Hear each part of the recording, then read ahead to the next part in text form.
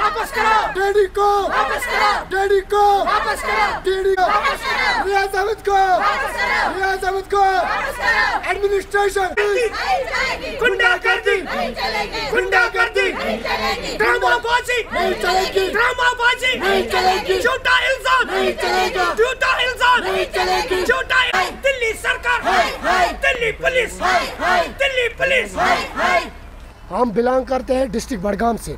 तहसील बीरवा गुंदीपुरा एक गाँव है उसी का हम मसला यह है सर वो हमारा बाप दिल्ली गया आ, बिल्कुल इनोसेंट है इसलिए दिल्ली गया वहाँ से कुछ उसको खरीदना था अपने कारोबार के लिए और अपने मकान और अपने घर के लिए। उसी सिलसिले में वो दिल्ली गया वो बिल्कुल इनोसेंट है। हम उसके साथ अप टू डेट थे फ़ोन पे।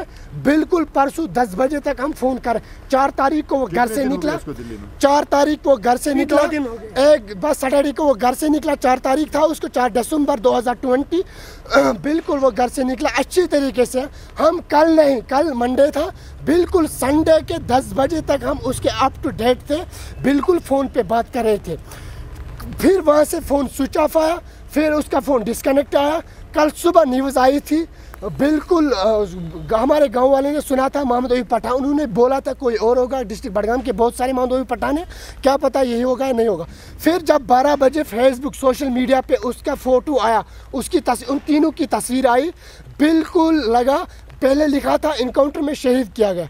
फिर हम, बिल्कुल हमारी हालत वो हुई, जो बताए के लायक नहीं है। फिर एक ही घंटे में छः स्टेटमेंट आया। पहले बोले रिकवरी है फिर बोला कोई ड्रग एडिटर है। ये बिल्कुल ड्रामाबाजी है। मैं कैटेगोरिकली कहता हूँ अपनी एडमिनिस्ट्रेशन से अपने गवर्नर साहब से दिल्ली पुलिस से दिल्ली एडमिनिस्ट्रेशन से सेंट्रल सरकार से जो वहाँ के बिल्कुल प्रेस नोट्स आए वो कैटेगोरिकली झूठ है। वहाँ का मीडिया बिल्कुल गलत है। गंदी बातें कर रहे वो कुछ नहीं है। वो एक सिविलियन है अपनी आम ज़िंदगी गुजारे हमारे बहनों के साथ हमें से हमारी माँ के साथ हमारे वो कर रहे हैं काम अपना साथ चला रहा है। वो लकड़ी का मशीन वही चल रहा है। जॉनरी मिलीज है छोटा सा कारोबार है। उसी के। सिलसिले वो दिल्ली गया। वो बिल बिल्कुल कुछ एजेंसी को नहीं जानता है। हम बिल्कुल अपनी रोटी मकान और कपड़ा हम बिल्कुल अच्छे तरीके से चला रहा था।